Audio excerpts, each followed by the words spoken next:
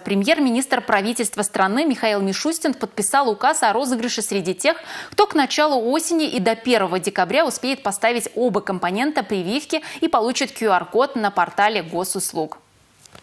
Разыграют тысячу призов по 100 тысяч рублей каждый. Выбирать победителей будут методом случайной выборки. По последним данным, это цифры на 13 августа. В республике прививают почти по полторы тысячи человек в день. Всего э, защитились от коронавируса 227 тысяч жителей Чувашии. В России оба компонента вакцины получили 33 с лишним миллиона человек. То есть шанс выиграть приз от правительства довольно невелик, но зато можно предположить, какой будет радость от победы.